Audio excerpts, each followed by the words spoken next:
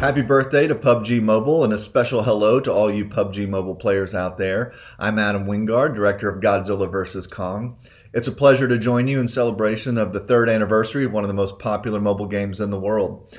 As you may have heard, Godzilla vs. Kong will be released on March 31st, and as my gift to you, we're making a brand new mode available that will give PUBG Mobile players a special encounter with both Godzilla and Kong.